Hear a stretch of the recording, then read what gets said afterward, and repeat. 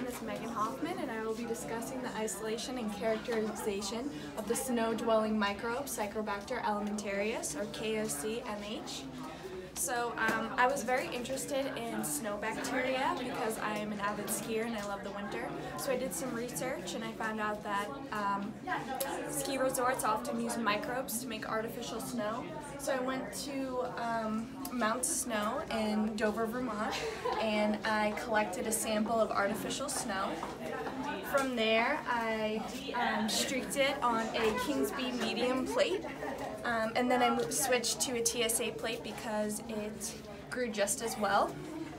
And um, from there I wanted to, ah, so I um, got into a pure culture from um, streaking specific distinct colonies.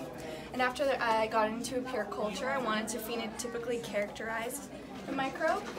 And um, so first I did a gram stain and I found out that my bacterium, KSC-MH, was gram positive. And I also wanted to do the antibi antibiotic resistance testing.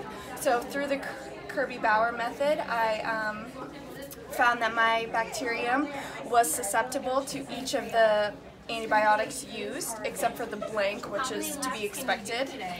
So after that, I wanted to do some bioinformatics um, characterization.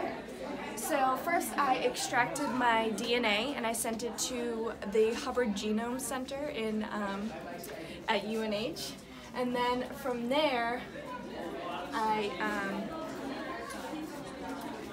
then I got the sequence back and I trimmed the technical sequences from it. And from there, uh, oh, using the trimmomatic function. From there, I assembled the um, short sequence data into longer contigs using the spades function. After that, I annotated the contigs with identified genes, and I also mined out the 16S rRNA gene, and then I plugged it into BLAST from the N, um, NCBI website, which led me to believe that my bacterium was Psychrobacter alimentarius which if you can look in this graph, you will see that there was a 96.4% average nucleotide identity percentage comparison between my bacterium and this reference. So that means I have a there's an extremely high likelihood that KSC-MH is Psychrobacter alimentarius. So that, I also compared it to the reference strain, Psychrobacter alimentarius PAMC 27889. And here you can see the GC content comparison between the two of them and the cum cumulative contig length, and you can see that they are pretty almost identical. So after I found out what my bacterium was, I wanted to mine out specific genes of interest to me. So I know that Psychrobacter means cold-loving. So I wanted to find some specific genes that have to do with temperature tolerance.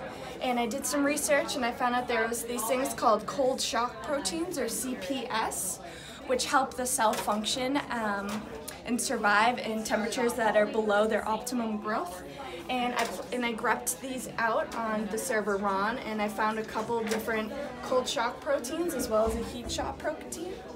So yeah, um, I successfully isolated and purified the bacterium KSC-MH from artificial snow.